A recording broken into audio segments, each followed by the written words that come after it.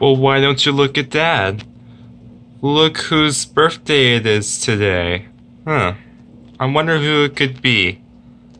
We!